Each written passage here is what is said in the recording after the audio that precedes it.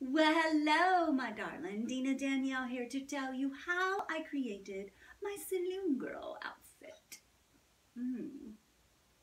Mm. The first thing I did was go to Savers because Savers, Goodwill, your local thrift store, is my favorite places to find the bases of any costume. Because why do all that sewing if you don't have to? So I found this great dress that had these great sleeves and I couldn't decide if it was completely hideous or completely perfect. So I ended up thinking it was perfect and I brought it home. Now, the sleeves were perfect for what I wanted my dress to look like because I mean how cute right? So the front I tacked up here and there just a needle and thread. If you can use a needle I mean if you can sew with a needle and thread you're good to go. You also could use safety pins which I did with the lace. I got tired of sewing and just started safety pinning. That's it.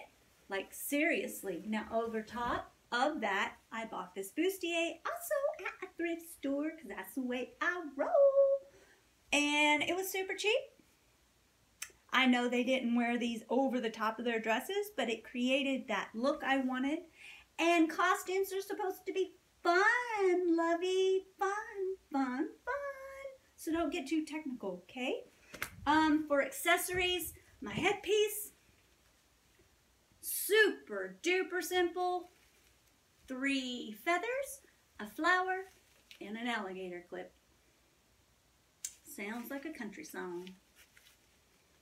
Three feathers, a flower, and an alligator clip. Okay, maybe not. And I had boots. These gorgeous boots. They're just my winter boots. Super fun though. I had these. This one is the right one. You can buy these at Claire's or Icings, you know, little places like that in the mall. Get them when they're on sale. Put them in your stock of costumes. Everyone should have a stock of costumes. I dress up all the time. I take pictures all the time. I've had several businesses where I had where I sold pictures super, super fun. Um, I had a gorgeous necklace and uh, a bracelet, rings, everything that went with it. Super simple.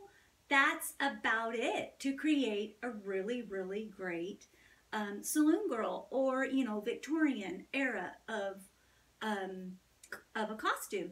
Now, my honey went as, uh, dressed as a sheriff. And I created him a costume really super simple. I found this long coat at Savers for like five bucks.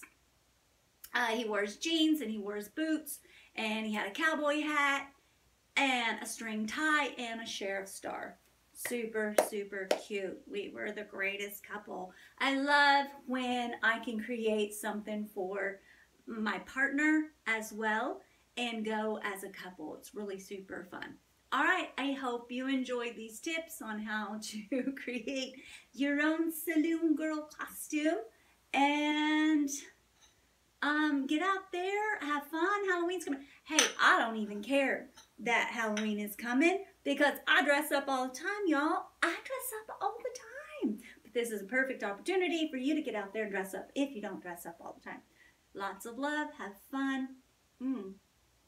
Mm, mm. And I will talk to you next time.